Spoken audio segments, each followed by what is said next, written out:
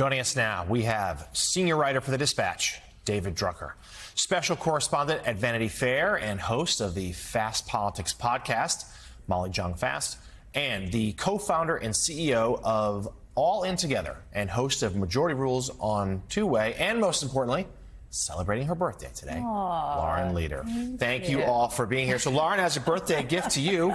You get first. Um, let's get your response. Uh, first of all, let's start with, with Trump's comments there about about Jewish Americans and about how they would shoulder a lion's share of the blame were he to lose. I mean, that is such dangerous dangerous rhetoric. I mean, really, only Trump can show up to a speech about anti Semitism and immediately repeat a disgusting anti-Semitic trope, which is blame the Jews for whatever outcome you don't like that doesn't align with what I want. I mean, it's just, it's, he can't help himself. And look, I mean, I think Republicans, Trump has attracted a certain segment of certainly conservative Jews who see him as tougher on Hamas and have been frustrated by some of the dissent in the Democratic Party over uh, over Israel policy, and it's definitely been a winner for him. But you know, it's just so he's done this over and over again. I'm old enough to remember in 2016 when their campaign sent out one of the most anti-Semitic flyers I've ever seen with, you know, stars of David and dollar bills on Hillary Clinton's face. I mean, they have a long history of this, embracing white supremacy. And of course, his own, you know, relationship with avowed white supremacist anti-Semites. So, you know, the lunches and dinners he's had at Mar-a-Lago with some of the most virulent um, anti-Semites. So it's just, it's par for the course. I shake my head. It's just, just, what can you say? It's like he does this over and over again. And the defense of those uh, chanting anti-Semitic uh, things in Charlottesville as, as well back exactly. in 2017. So, Molly, on this topic, it's not, as Lauren just laid out for us, uh, Trump said all these things yesterday and added that he said it was up to Israel, Israel, to defeat Kamala Harris. I, mean, it's this is again an anti-Semitic trope: the idea that if you're Jewish, you're somehow connected to Israel. And and look, Israel is an important part of a lot of Jews' lives, but it also is not. You know, you can be uh, the idea that you have to be a certain kind of Jew in order to be Jewish is really quite anti Semitic. And it is what Donald Trump does.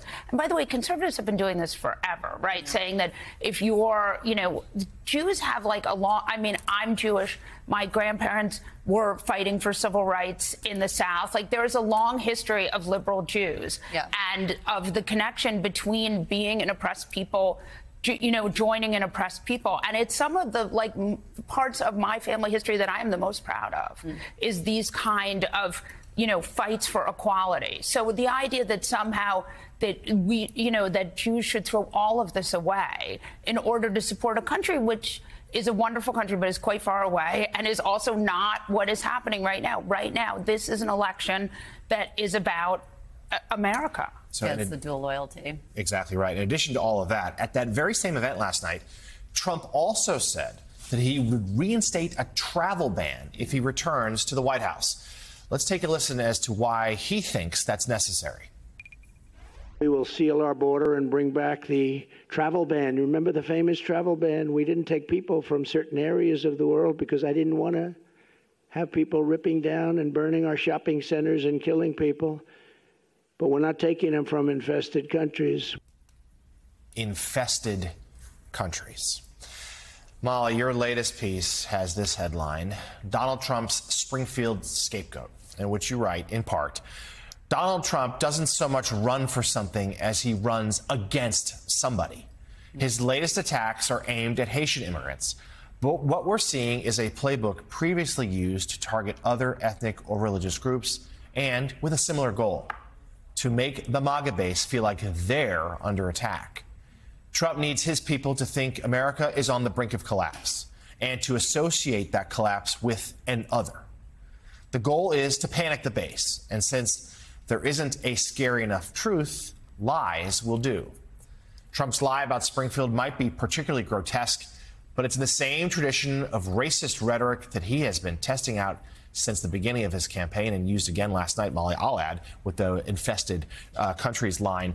Um, just talk to us about, I mean, there's because there's real world ramifications about this. Oh, this yeah. isn't just political scoring political points. This has put people's lives in danger. We have seen what's happened in Springfield where there have been bomb threats hospitals, city hall, and schools closed. Yeah, no, I mean, this is real. And look, he said it about Mexicans in 2016. You'll remember. He said, you know, he said racist lies about Obama. He said, you know, Muslims. He said it about um, Haitians now. And again, it is really just this othering, right? It's saying these lies about a group of people in order to get the base to feel they're besieged or that they're in danger.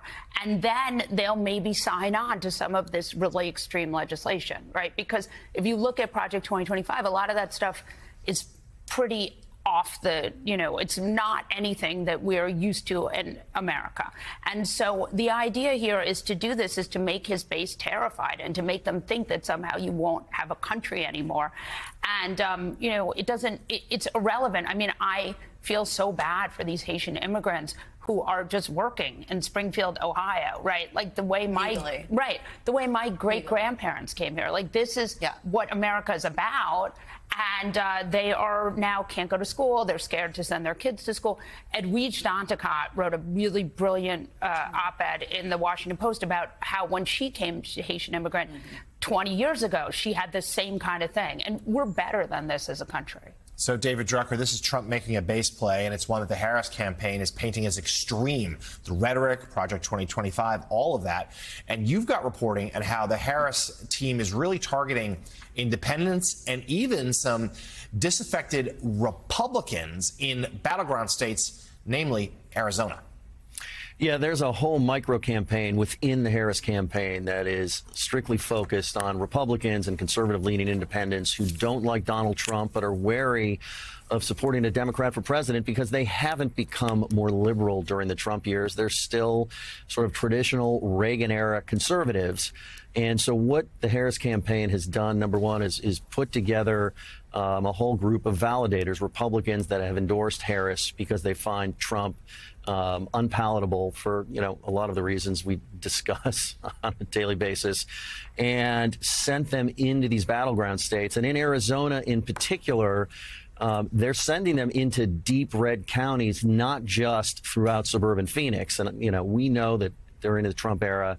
Uh, suburban voters have drifted from the Republican Party. Um, they've been supporting Democrats, but they they've got people uh, throughout the state. There are dedicated ads. There is a lot of phone banking and door knocking, and this is a very again like sort of micro targeting. Uh, type of, of operation. And, and one thing I'll, I'll just say here is it's interesting what they're saying in order to try and move the needle here. What they're telling these voters is we're not here to ask you to re register as Democrats or to become Democrats. What we're asking you to do is give the Republican Party some space to get back to what it used to be. You know, we, you know, we can debate whether that's possible, but what they're saying is uh, we don't find Trump uh, worthy of our vote.